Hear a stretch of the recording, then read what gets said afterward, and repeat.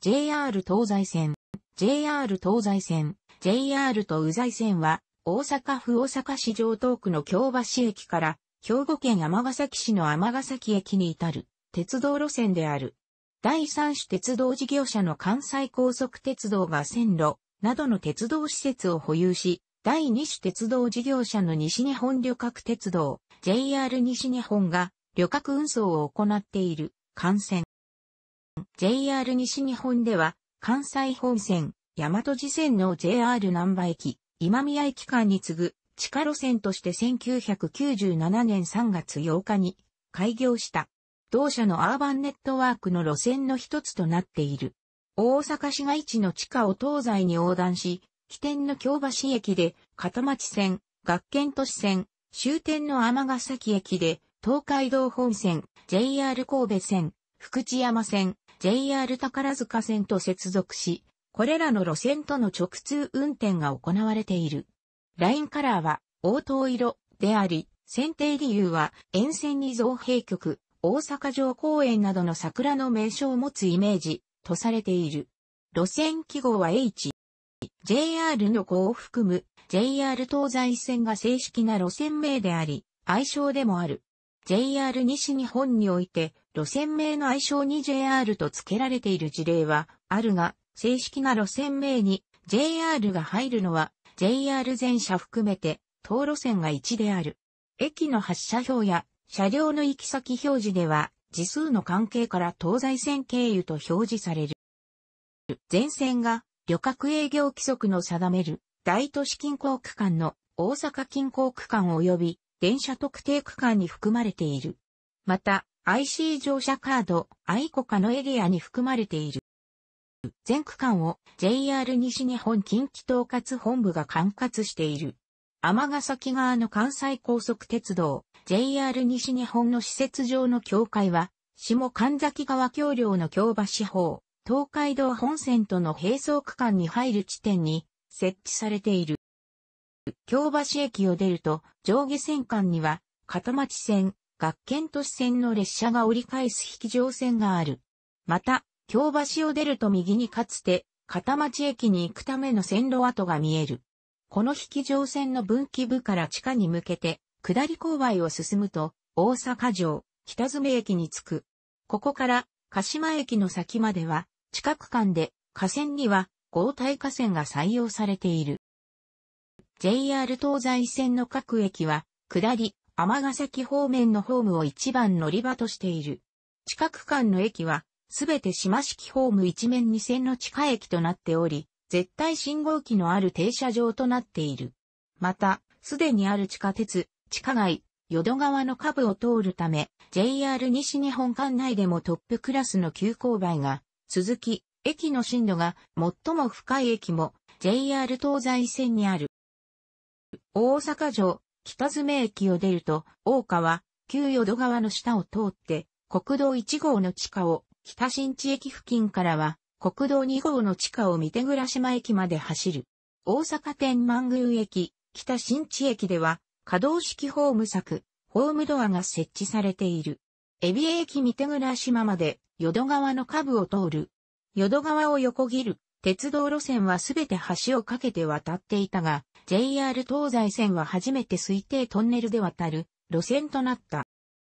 鹿島駅を発車すると地上に出る。ここからは上下線とも東海道本線、JR 神戸線、JR 宝塚線の内側線、外側線の間を走行するが、これはもともと東海道本線の外側線として使用されていた線路を R 東西線に転用し、その外側に東海道本線の外側線が増設されたためである。神崎川を渡ると、尼崎駅に到着する。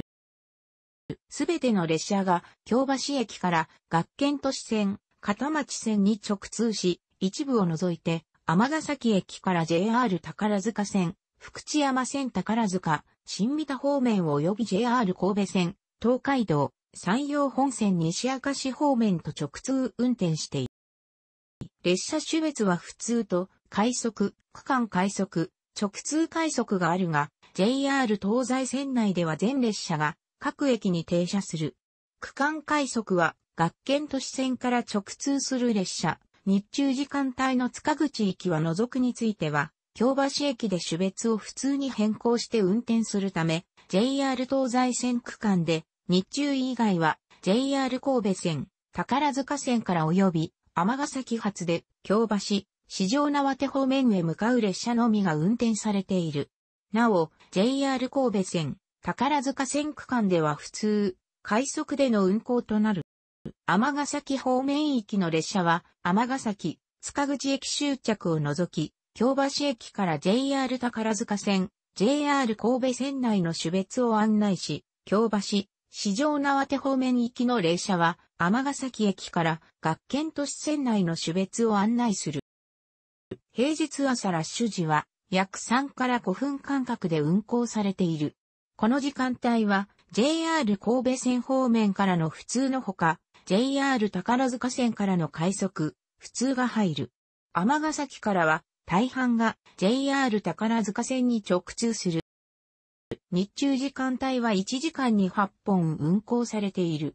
この時間帯は普通が JR 神戸線直通、区間快速が塚口駅発着で運行されている。朝晩には尼崎駅を始発及び終点とする列車が設定されているが、JR 東西線から京橋駅で折り返す列車はない。尼崎駅では JR 東西線部分に引き上げ線がないため、塚口駅発着、または改造として塚口駅、新三田駅まで運行されている。2008年3月15日からは毎日朝夕に奈良駅山崎駅間で大阪東線、関西本線、大和路線を経由して、直通快速が運転されている。尼崎駅では、JR 神戸線、JR 宝塚線の列車と同一ホームで乗り換えができる。なお、2019年春をもって、学研都市線、JR 東西線の放出駅尼崎駅間での運行を終了する予定である。開業以来、大晦日深夜から元旦にかけて、JR 東西線では全線、運転区間は、学研都市線市場縄手駅 JR 宝塚線、宝塚駅間において普通のみ、約30から60分間隔で、終夜運転が実施されている。207系の木津川から3両目と321系の5号車には、平日、休日に関わらず、毎日、始発から終電まで、女性専用車が設定されている。乗車位置には女性専用車の案内が表示されている。なお、ダイヤが乱れた際は女性専用車の設定が解除されることがある。JR 東西線では2002年12月2日から女性専用車を導入し、始発から9時と17時から21時まで設定されていたが、2011年4月18日からは平日、休日に関わらず、毎日、始発から終電まで女性専用車が設定されるようになった。JR 東西線は架線に合体架線を使用しているため、電動車にパンタグラフを2機装備した電車が乗り入れる。2機使用するのは JR 東西線内のみで、他の線区では、京都、木津寄りの1機は加工している。パンタグラフの昇降は、京橋駅、尼崎駅で行う。現在、JR 東西線で定期運用されているのは4、扉ロングシートの通勤型車両207系、321系、いずれも、アボシ総合車両所明石署の所属である。なお、2008年3月15日から2011年3月11日まで、大阪東線経由の尼崎駅奈良駅間の直通快速には宮原総合運転所、現、アボシ総合車両所宮原支所の223系6000番台が使用されていたが、ホームドア設置に伴い車両ドア数を統一するため、4、扉車両での運転となった。JR 東西線に関わる旅客営業規則に定められた乗車制度の特例は次のものがある。旅客の利便性向上のため、大阪駅、北新地駅発着、または経由の定期券、回数券については、次の通り他経路乗車が認められている他経路区間での乗降はできない。また、この制度を利用して乗り越しをした場合、乗客に有利な扱いを行っている。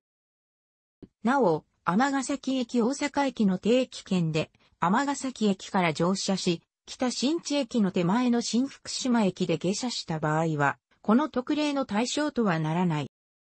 大阪市内発着となる乗車券については、次のような特例が認められている。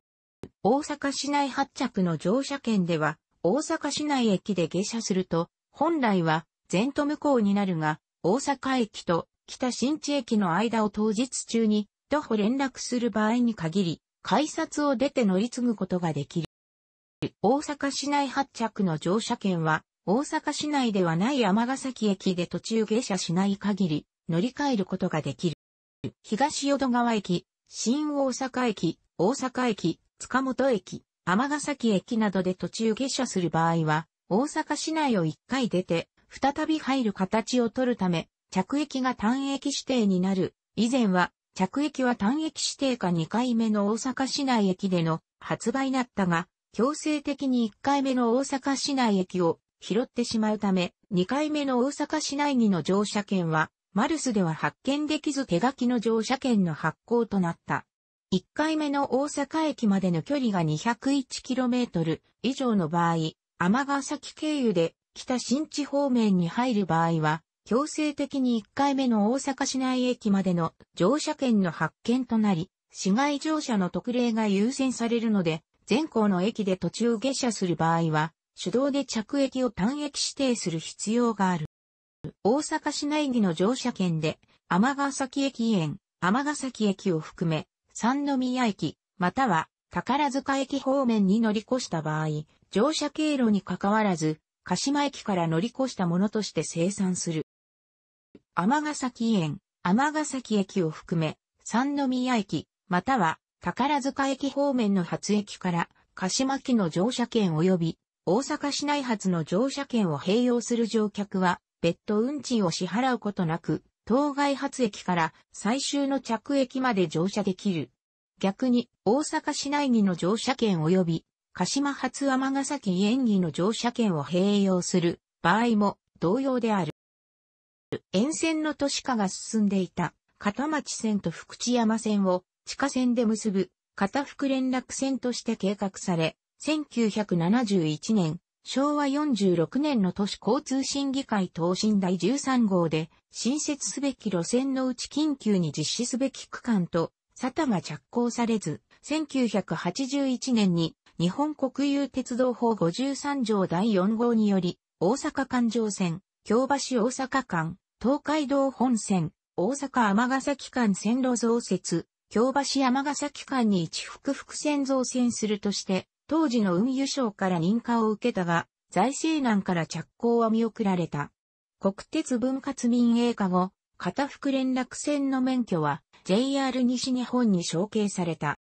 JR 西日本単独での建設は困難なため、1988年に鉄道施設の建設、保有を行う第三セクター会社の関西高速鉄道が設立され、JR 西日本が鉄道施設の貸付を受けて列車の運行を行うことになった。1989年には全略片町線と福知山線を相互直通運転で結ぶことによって、東西方向の都心間通型広域鉄道幹線を形成するために必要な路線、大阪環状線の混雑緩和にも資する路線として再位置づけられ、この年ようやく着工された。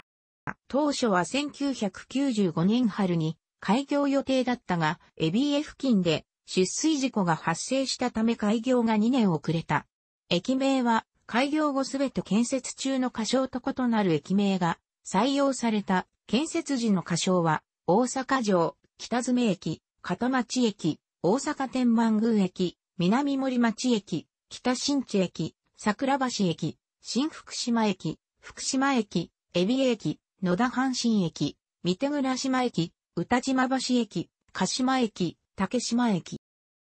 1980年に1978年に発足した片福連絡線調査委員会がまとめた中間報告書によると、ルート案は以下の通り3つ挙げられた。いずれのルート案も京橋駅から北新地駅を過ぎて、阪神高速道路と交差する付近までは同じである。これらの案のうち、阪神野田駅、地下鉄野田阪神駅と接続し、大阪市営地下鉄の路線網の空白地帯だった歌島橋付近の新たな鉄道サービス、大阪市交通局、当時のバスターミナルの統合といった通経画や沿線開発のインパクトや JR 神戸線と直通運転が可能であること、建設費が他の2案の中間的なものであるから C 案を推進した。しかしその後は国鉄の財政赤字のために長期にわたって建設のめどが立たず、建設費の削減のため、大阪駅西方で東海道本線に乗り入れる案や、さらに参戦機場として、阪神、京阪の直通運転も行うまで検討された。